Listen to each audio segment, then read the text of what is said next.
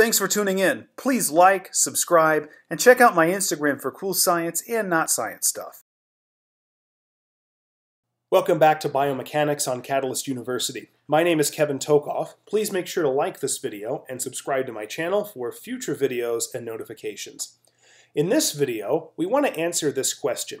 In order to improve extension at any proximal interphalangeal joint, the middle phalanx must be mobilized in what direction? So really here, this video is going to be about mobilizing any of the interphalangeal joints. Now just to clear this up, the thumb uh, just has an interphalangeal joint because remember there's only two phalanges. There's a proximal and a distal phalanx. And so there's only one interphalangeal joint. At the other digits, 2 through 5, we have three phalanges. So we have the proximal interphalangeal joint, which is between the proximal and middle phalanges and then the distal interphalangeal joint, which is between the middle and the distal phalanges. However, even though this question is worded at the proximal interphalangeal joint, this will work for any of the interphalangeal joints. It's just here we're specifically saying the PIP joint. Okay. Now we're given a specific movement, that's the extension, and we're asked to determine the direction of the mobilization. So we're going in this direction. We first figure out the roll, and then we'll know if it's the opposite or same as the slide, so we can deduce the direction of the slide, which will therefore be the same direction as the mobilization. Okay. Now, again, we need to start by figuring out the mobile bone and the static bone. In the case of the PIP joint, our static bone is the proximal phalanx and the mobile bone is the middle phalanx. So when we're looking at this, the middle phalanx, its surface is actually going to be concave, and the proximal phalanx is going to be convex. You can kind of see that here in the picture.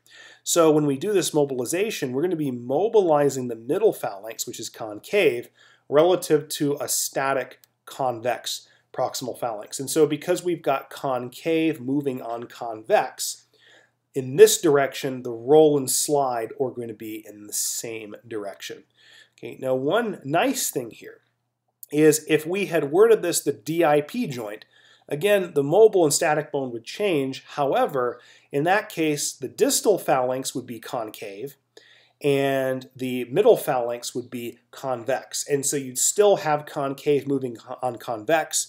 And again, the roll and the slide would be in the same direction. So any interphalangeal joint, when you mobilize it like this, the roll and the slide are going to be in the same direction. Now, in extension of the PIP joint, the middle phalanx is going to move dorsally. If you think about that movement, look at your hand, go into PIP extension. Yes, your middle phalanx is rolling dorsally. Okay? The roll is dorsal. And in this case, the roll is going to be in the same direction as the slide. We just determined that. So we just found the roll is dorsal. So the slide is also going to be dorsal. And because the mobilization is the same as the slide, again, the mobilization is going to be also dorsal. In other words, if we wanted to mobilize the proximal interphalangeal joint, we would mobilize the middle phalanx dorsally. We could also from here say that if we wanted to mobilize the DIP joint, we would mobilize the distal phalanx dorsally.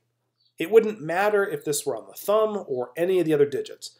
To mobilize extension, we mobilize that bone dorsally. If instead of extension at the PIP, we wanted to mobilize flexion at the PIP joint, then we'd mobilize the middle phalanx palmarly. If we wanted to improve flexion at the DIP, then we mobilize the distal phalanx palmarly. Okay? And since these interphalangeal joints are hinge joints, flexion and extension are the only movements allowed. So hopefully this video gave you a good understanding of mobilizing the interphalangeal joints.